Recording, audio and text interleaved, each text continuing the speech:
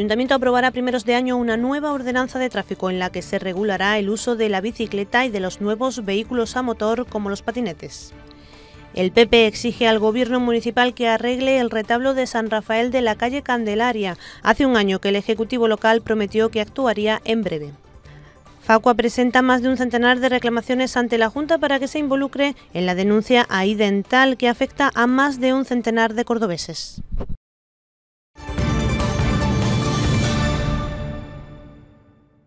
Las delegaciones de movilidad y seguridad del Ayuntamiento de Córdoba han elaborado un primer borrador de la nueva ordenanza de movilidad que sustituirá a la de tráfico actual, que se remonta a 1992. A primeros de año podría estar lista la nueva norma que ha sido consensuada con diversos actores sociales y que regulará el uso de los nuevos vehículos motorizados, entre otros. Todo ello en pro de los cambios urbanísticos y las nuevas leyes de calidad del aire y economía sostenible.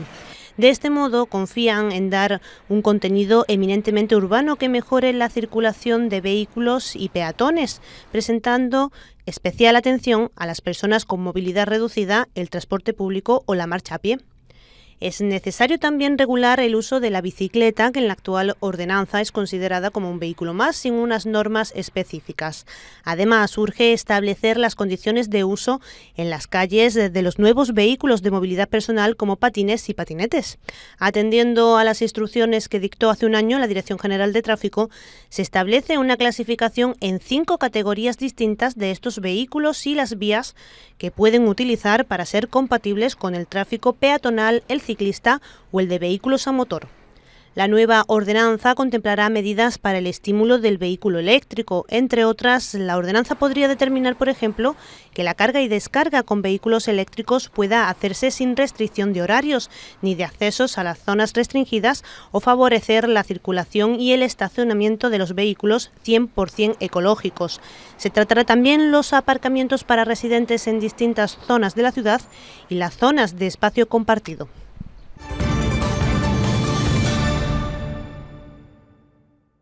El Partido Popular continúa con su ronda estival de peticiones para el gobierno municipal. En este caso ha sido el turno del altar de San Rafael situado en la calle Candelaria. Los populares señalan que es el último vestigio de los ademanes culturales del siglo XVIII y que se encuentra en un estado lamentable. El retablo forma parte del catálogo de bienes protegidos por el ayuntamiento y es palpable el mal estado en que se encuentra con pinturas del cordobés Monroy mal conservadas, sin iluminación y con notables desperfectos que ensombrecen lo que ellos califican de un enclave con valor artístico, histórico y religioso, además de ser un símbolo de la devoción popular que está desprotegido.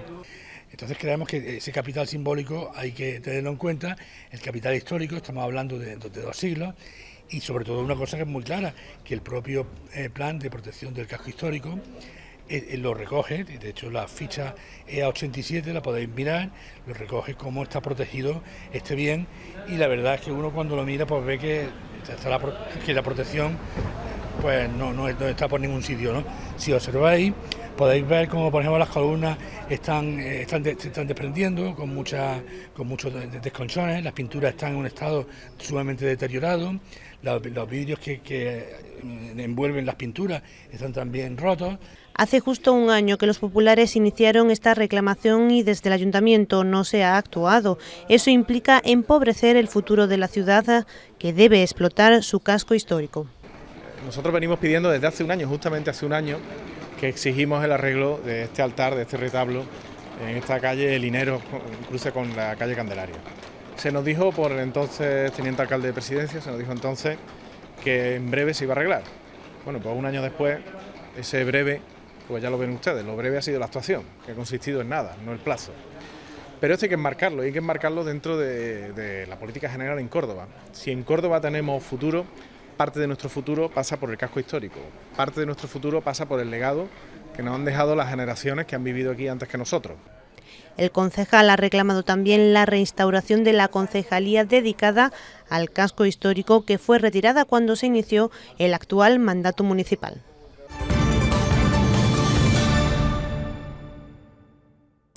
Ciudadanos exige al equipo de gobierno que en lugar de sembrar polémica hablando de expropiación de la mezquita catedral, haga un esfuerzo de diálogo y consenso para llegar a un acuerdo que permita suscribir un nuevo convenio que mejore el anterior y saque adelante las visitas nocturnas. Para la formación naranja es responsabilidad de todos, especialmente de las administraciones públicas, el fomento de las pernoctaciones en la ciudad como medida para generar actividad económica y creación de empleo. Por eso es imprescindible que haya consenso entre consistorio y cabildo. Ciudadanos advierte que una oferta turística nocturna de calidad aumentaría las pernoctaciones en Córdoba, de manera que la visita nocturna a la mezquita catedral es buena herramienta para conseguirlo. Para llevarlo a cabo, PSOE e Izquierda Unida deben anteponer los intereses de Córdoba a su ideología y trabajar de forma objetiva en pro del beneficio de la ciudad, según Ciudadanos. Facua presenta una batería de denuncias contra Idental ante la delegación del Gobierno de la Junta de Andalucía.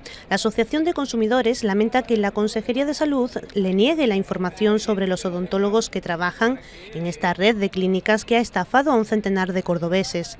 Esta información debería ser de carácter público según un decreto autonómico y debería estar visible en los centros médicos. Sin embargo, la Administración andaluza se niega a darla a conocer. Tampoco ha verificado desde 2015 la existencia de seguro de responsabilidad civil de la clínica en la capital, dejando a los afectados en una absoluta indefensión ante cualquier tipo de indemnización por daños. Por eso exigen que la Junta se ponga al día y haga su trabajo para no perjudicar aún más a las víctimas. Por lo tanto, nosotros que queremos que la Administración, si finalmente está por la labor, pues que lo diga claramente, que colabore, que diga quiénes son los odontólogos, que ellos lo saben, que diga que se van a personar en el procedimiento judicial y que den facilidad a las asociaciones de consumidores cuando eh, estamos trabajando en aras de buscar pues al final el beneficio de los afectados. Facua ya inició un procedimiento jurídico para que los afectados recuperen el cobro de los tratamientos que en muchos casos se dejaron a medias. Por ahora ya han conseguido resolver de manera favorable el 15% de las reclamaciones, algunas de ellas con importes superiores a 6.000 euros.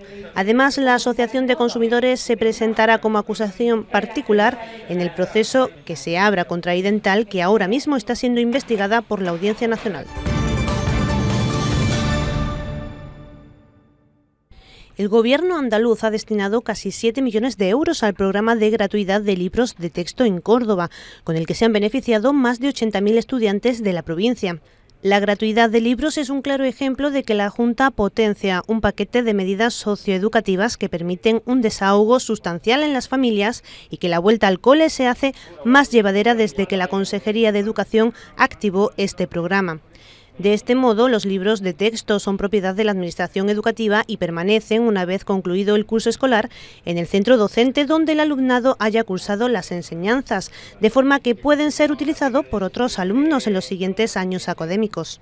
El uso compartido supone un ahorro económico muy importante para las familias y contribuye además al fomento de la equidad y el fortalecimiento de valores de corresponsabilidad y solidaridad en la comunidad educativa, así como al respeto del medio ambiente y al desarrollo sostenible.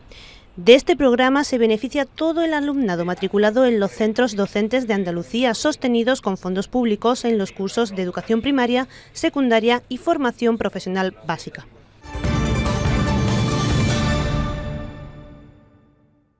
La localidad de Priego de Córdoba inicia el día 15 su particular puente dedicado a los más jóvenes.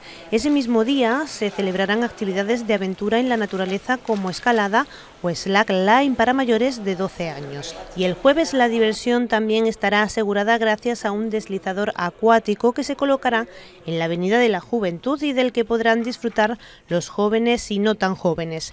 Ya el viernes el municipio cordobés albergará un taller de DJs con unos 20 alumnos de entre 14 y 16 años distribuidos en dos turnos. Además, ese día se celebrará por la tarde un escape room en vivo en el que los participantes deberán resolver enigmas y adivinanzas para ganar. Todo esto se lleva a cabo con motivo del Día de la Juventud que tuvo lugar ayer y complementa una apuesta por el ocio juvenil muy importante que se hace desde el ayuntamiento de la localidad. Todo ello será para continuar con lo que desde el área de cultura del ayuntamiento venimos a denominar un verano de festivales, para concluir con las actividades que este ayuntamiento organiza durante el verano, que comenzaron con Nemo Art Festival, continuaron con la 71 edición del Festival Internacional de Música, Teatro y Danza, siguieron con el Festival de Jazz y que pondrán el punto final con el Tiñosa Fest un par de semanas antes de nuestra Feria Real destacando asimismo la importancia de que todas las actividades que se van a desarrollar son absolutamente gratuitas, que lo único que es necesario es la breve inscripción en la Casa de la Juventud y a las cuales se fomenta el ocio alternativo y sano.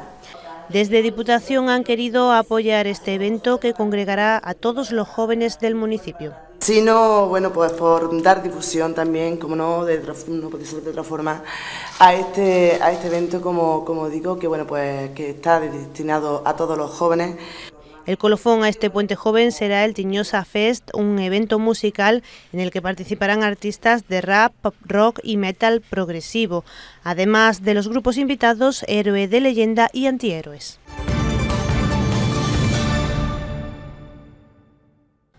El Córdoba cerró en Marbella su preparación veraniega antes de que el balón eche a rodar con puntos de por medio el próximo sábado a las 10 de la noche. Lo hizo con un doble compromiso en la Costa del Sol. El primero, el viernes, tuvo lugar en el Municipal Marbellí frente al equipo de la localidad. El segundo, un día más tarde, en las instalaciones del Marbella Football Center contra el Málaga.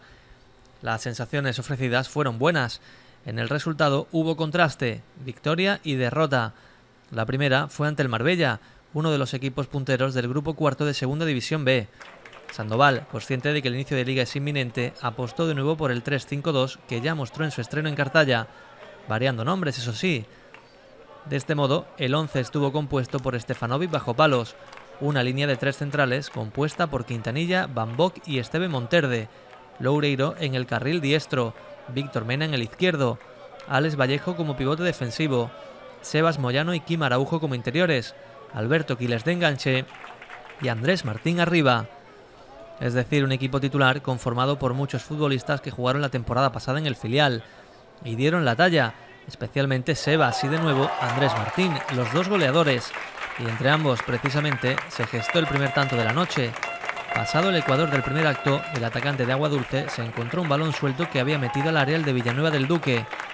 El resultado fue el 0-1 con el que se llegó a vestuarios. No obstante, en los compases iniciales hubo que sufrir, porque el Marbella arrancó muy bien, primero con un tanto que fue anulado por fuera de juego al excordobesista Jesús Sillero, y más tarde con un mano a mano de Elías ante Stefanovic que al centrocampista se le marchó rozando el palo izquierdo. Fueron los mejores momentos del partido para el Marbella, que se quedó con 10 al filo del intermedio por la expulsión del cordobés José Manuel Cruz. En la segunda mitad, Sandoval dibujó su once en base a un 4-2-3-1 donde solo existió un cambio, el de Celu en lugar de Jesús Valentín. El central canario había entrado mediada la primera parte en sustitución de Quintanilla. Así, el equipo del segundo acto estuvo formado por Stefanovic bajo palos, Loureiro, Esteve, Bambok y Víctor Mena en defensa, Vallejo y Kim Araujo en el doble pivote, Celu en la banda derecha, Sebas Moyano en la izquierda, Aquiles de enganche y Andrés Martín arriba. La modificación del esquema no pareció importarle al Córdoba, que logró rápidamente aumentar distancias, en esta ocasión por mediación de Sebas Moyano tras una buena jugada por la banda derecha. De ahí al final, el equipo blanquiverde dominó sin complicaciones y no goleó al Marbella por el buen hacer de Wilfred. El veterano portero del conjunto marbellí salvó varios goles tras buenos intentos de Celu, especialmente incisivo desde su ingreso al terreno de juego. Al final, la cita en el municipal trajo consigo la victoria y las buenas sensaciones que se arrastraban del compromiso en Cartaya. Hombre, nadie le amarga un dulce, ¿no? Yo creo que sí, pero bueno, eh, me ha gustado mucho. Eh, hemos terminado con 90 minutos muchos jugadores, esa carga física de trabajo a estas alturas es importante para ver el, para ver el test de cara al primer partido de liga y yo sigo sumando cosas positivas de, este equipo. ¿no? Eh, creo que tenemos cosas que, mejorar, seguro, pero que este equipo ha empezado de menos a más el partido, ha ido cogiendo sitio y ha vuelto a brillar siempre eh, jugadas y asociaciones eh, dentro del terreno de juego que la solidaridad del equipo es lo que más me gusta, ¿no? el compromiso. Ha sabido competir muy bien incluso con, uno más porque te puedes dejar llevar y creo que todo el partido hemos estado de 10, ¿no? Sí, el mister habló conmigo y me dijo que tuviera tranquilidad, confianza, que él, él me la daba de hecho la confianza y creo que hoy he, sido más, he jugado más suelto y creo que hoy sí he podido realizar mi juego como, como yo sé y bueno, contento por el gol y sobre todo ayudar a llegar al equipo a, bien al primer partido de liga. Sí, Andrés lo conocemos de, lo conozco del filial de cuando subió, un muchacho que, trabaja a diario, que, que, ya hemos visto, presiona, brega y hoy otra vez ha conseguido hacer gol y la verdad que me encuentro cómodo con él y, y la verdad que esperemos dar alegría. Sí, poco a poco, como ha dicho el mister, somos pocos, eh, hemos tenido, tenemos que tener mucha carga de trabajo y lo bueno es eso, llegar al primer partido de liga bien trabajando y espero que, contra el Numancia lleguemos todos al 100%. Cuéntanos un poquito, sensaciones, cómo te han acogido y precisamente qué te pedía el mister, cuando te llama para que viniese. Que trabajase nada más, que me divirtiese, que saliese al campo a hacer lo que yo sabía y que, a trabajar y ya está. Y así, con pocas horas de descanso, llegó la cita en el Marbella Football Center. A las 10 de la mañana del sábado arrancó el último compromiso de la pretemporada para el Córdoba. Fue ante el Málaga, uno de los favoritos para volver este año a Primera División. José Ramón Sandoval optó en este caso por afianzar durante todo el choque su esquema 3-5-2, formado por Pavel Kiesek bajo palos, una línea de tres centrales compuesta por Quintanilla, Valentín y Aitami, Fernández en el carril diestro, Javi Galán en el izquierdo, Edu Ramos como pivote defensivo, Aguado y Javi Lara como interiores, Alejandro Alfaro de enganche y Sasa Jovanovic arriba. El serbio tuvo las mejores oportunidades del Córdoba en una primera parte bastante buena del conjunto blanquiverde, al que solo le faltó acertar frente a la meta de Andrés Prieto. El gol invalidado a Jovanovic en el minuto 2 fue el preludio de la buena actuación del atacante de Lazarevac, porque en sus botas estuvieron las mejores opciones, que tuvo también que desbaratar el inspirado portero malaguista. Además, Álvaro Aguado y Javi Lara también se asomaron a puerta rival, pero sin éxito. La segunda mitad fue mucho más descafeinada. Celu entró por Alfaro tras el descanso y además, aunque ya al final, tuvieron sus minutos Borja Estepa, Bambok y Araujo. El Córdoba apenas inquietó. El Málaga solo lo hizo en la recta final y por mediación de Hicham. Sin embargo, el gol de la victoria no llegó hasta el minuto 85. Entonces, un error en la salida de Jesús Valentín lo aprovechó Mula para batir a Pavel Kiesek y poner el 1 a 0 definitivo. Con ese resultado, se dijo adiós a la pretemporada. La liga dará comienzo el sábado a las 10 de la noche en el Arcángel. El Numancia ya espera en el horizonte.